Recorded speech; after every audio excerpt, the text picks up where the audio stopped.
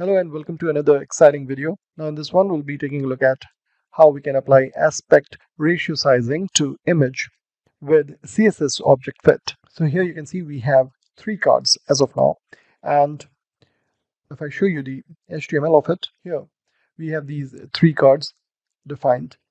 Now you can see that I have commented out the images over here. Let's try and see what happens if I include image over here.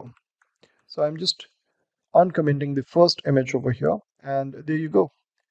This is how the whole card is now looking up. If I use the other two images as well, then the same is going to happen.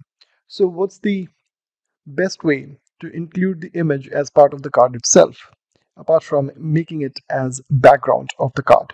So here we'll be making use of a property called object fit. So I'll be first of all creating this class and inside this what I'll do is I'll make use of object fit as cover. So if I show you the HTML section over here you can see that I've already applied this class object fit cover and it then targets the card class and then the image. So here we have the card on the li element and then we are targeting the image.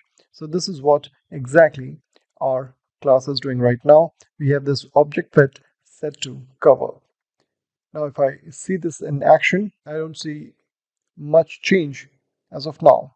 But wait till we make more changes. Now the next thing that we need to do is define the container width and height. So for container width, let's say we are saying 100%.